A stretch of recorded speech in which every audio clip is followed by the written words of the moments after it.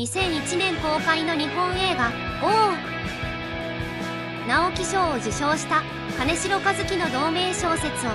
雪貞勲監督が映画化した青春娯楽作品。在日韓国人の杉原は日本の普通高校に通う3年生。父親に叩き込まれたボクシングで朝鮮学校時代の悪友たちと喧嘩や悪さに明け暮れる日々を送っている。ある日杉原は桜井という風変わりな少女と出会う。ぎこちないデートを重ねながら少しずつお互いの気持ちを近づけていく。そんな時唯一の尊敬できる友人が些細な誤解から日本人高校生に刺されて命を落とすことに。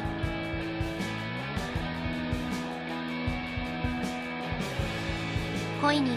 友情に悩み傷つきながらも国籍や民族といったボーダーにとらわれない新たなアイデンティティを徐々に見いだしていく主人公を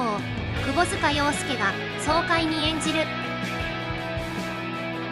在日韓国人の